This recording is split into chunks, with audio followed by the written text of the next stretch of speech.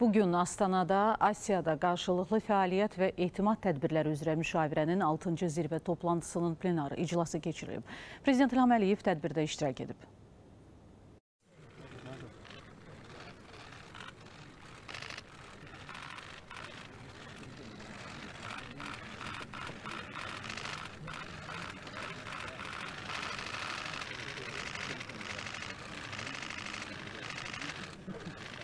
Əvvəlcə plenar iclasın gündəliyi qəbul edildi. Sonra Küveytə Asiyada qarşılıqlı fəaliyyət və etimad tədbirləri üzrə müşavirəyə üz dövlət statusu verildi. Beləliklə, Küveyt AGM-in 28-ci üz dövləti oldu. Türkmənistan isə Asiyada qarşılıqlı fəaliyyət və etimad tədbirləri üzrə müşavirəyə müşahidəçi qismində qoşuldu. Asiyada qarşılıqlı fəaliyyət və etimad tədbirləri üzrə müşavirənin sədri olan Qazaxstan Respublikasının prezidenti Kasım Jomart Tokayev çıxış edərək 5-ci zirvə toplantısından ötən dövrdə görülən işlər barədə məlumat verdi. Daha sonra Birləşmiş Millətlər Təşkilatının baş katibi Antonio Guterreşin iclas iştirakçılarına video müraciəti nümayiş olundu. Sonra Azərbaycan prezidenti İlham Əliyev çıxış etdi. Hörmətli Qazaxstan prezidenti Kasım Jomart Tokayev, hörmətli dövlət və hökumət başçıları, xanımlar və cənablar, mən ilk növbədə Qazaxstan prezidenti Kasım Jomart Tokayeva Asiyada qarşılıqlı fəaliyyət və etimad tədbirləri üzrə müşavirənin 6-cı zirvə toplantısına dəvətinə və qonaqpərvərliyə görə minnətdarlığımı bildirirəm.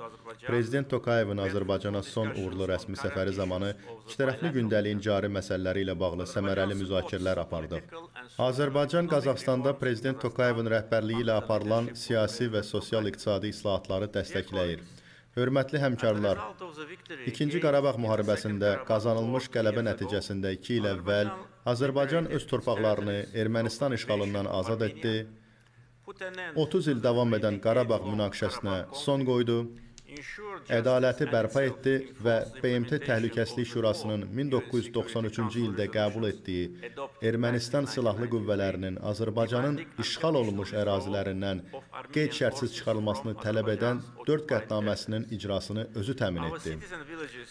Ermənistan tərəfindən 30 ilə yaxın davam edən işğal zamanı şəhərlərimiz və kəndlərimiz, mədəni və dini abidələrimiz, məscidlərimiz məqsədli şəkildə dağıdılıb, təhqir və talan edilib. Hətta məscidlərdən heyvan saxlamaq üçün tövlə kimi istifadə olunurdu.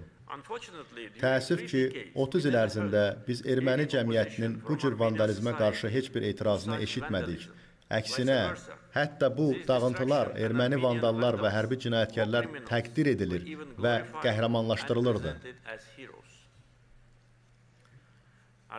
Ermənistan Azərbaycanın mülki əhalisinə və hərbiçilərinə qarşı sistemli şəkildə müharibə cinayətləri törədib. Birinci Qarabağ müharibəsindən bəri 3900-ə yaxın Azərbaycan vətəndaşı itkin sayılır. Onların əksəriyyəti işgəncələrə məruz qalıb, öldürülüb və kütləvi məzarlıqlarda bastırılıb. Biz işğaldan azad edilmiş iki kənddə bu il kütləvi məzarlıqlar aşkar etdik. Ermənistan Azərbaycana itkin düşənlərin taleyi və kütləvi məzarlıqların dəqiq yerləri barədə məlumat təqdim etməlidir. Biz iki ilə yaxındır ki, bu məlumatı tələb edirik. Ancaq Ermənistan hökuməti bunu Azərbaycanla bölüşməkdən imtina edir və bununla da özünü Ermənistanın əvvəlki rejimlərinin cinayətkar liderləri ilə assosiasiya edir. Azərbaycan dünyada mina ilə ən çox çirklənmiş ölkələr sırasındadır. İlkin hesablamalara görə Ermənistan işğal zamanı 1 milyondan çox mina bastırıb. İkinci Qarabağ müharibəsinin başa çatmasından keçən 2 il ərzində 250-dən çox Azərbaycan vətəndaşı mina partlayışları zamanı həlak olub və ya ağır yaralanıb. Beynəlxalq mütəxəssislərin hesablamalarına görə Azərbaycana ərazilərin minalardan təmizlənməsi məsələsini həll etmək üçün təxminən 30 il və 25 milyard ABŞ dolları lazımdır. Minalardan təmizlənmə ilə paralel indi Azərbaycan həm də işğaldan azad olunmuş ərazilərdə öz resursları hesabına geniş miqyaslı quruculuq işləri aparır. Biz həmçinin keçmiş məcburi köçkünlərin öz doğma yurdlarına qayıdışı prosesinə başlamışıq. Böyük Qayıdış adlanan proqram artıq başlayıb.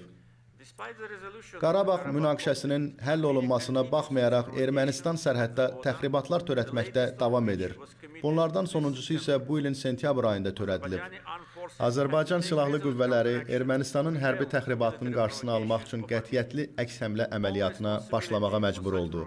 Bütün bu təxribatlara görə məsuliyyət Ermənistanın hərbi siyasi rəhbərliyinin üzərinə düşür. Ermənistan tərəfindən törədilmiş etnik təmizləmə nəticəsində 1 milyondan çox azərbaycanlının 30 il ərzində əziyyət çəkməsinə, misli görünməmiş vəhşiliyə, yüzlərlə şəhər və kəndimizin dağıdılmasına baxmayaraq, Azərbaycan Ermənistana qarşılıqlı şəkildə bir-birinin ərazi bütövlüyünün tanınması əsasında sülh sazişi imzalamağı təklif edib. Hörmətli həmkarlar, Azərbaycan tərəfindən həyata keçirilən geniş miqyaslı nəqliyyat infrastrukturu layihələri ölkəmizi ən mühüm beynəlxalq nəqliyyat və logistika mərkəzlərindən birinə çevirib. 2022-ci ilin ilk 9 ay ərzində Azərbaycan ərazisindən keçən tranzit təxminən 65% artıb. Azərbaycan şərq-qərb və şimal-cənub nəqliyyat dəhlizlərinin inkişafına mühüm töhfələr verir. Azərbaycan orta dəhlizin önəmli hissəsini təşkil edəcək Zəngəzur dəhlizinin yaradılmasını fəal şəkildə təşviq edir.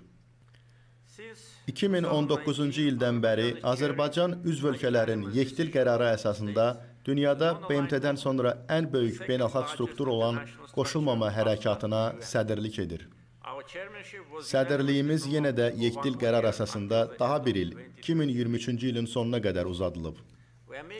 Biz qoşulmama hərəkatı çərçivəsində həmrəyliyi gücləndirmək, bu hərəkatın siyasi çəkisini və qlobal nüfuzunu artırmaq üçün böyük səylər göstəririk.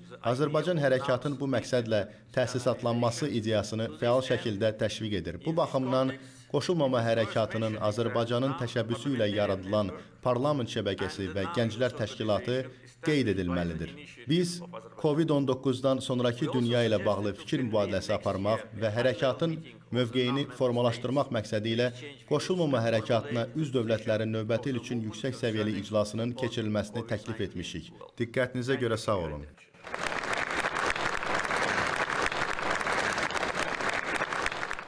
Digər dövlət və hökumət başçıları, nümayəndə heyətlərinin rəhbərləri də çıxış etdilər. Plenar iclasda Asiyada qarşılıqlı fəaliyyət və etimad tədbirləri üzrə müşavirənin tam hüquqlu beynəlxalq təşkilata çevrilməsi planları müzakirə olundu.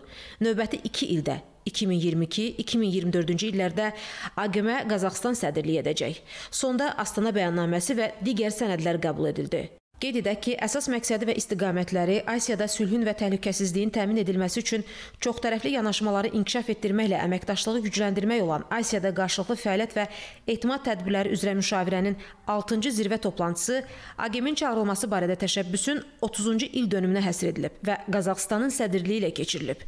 Zirvə toplantısında 11 dövlət başçısı Azərbaycan, Türkiyə, Rusiya, İran, Özbəkistan, Qırğızıstan, İraq, Fələstin, Tacikistan prezidentləri, Qətər əmiri, eləcə də Vyetnamın vitse-prezidenti, Çin Xalq Respublikası sədrinin müavini və 5 nazir, həmçinin AQM-in dövlət müşahidəçisi olan Belarus prezidenti iştirak ediblər.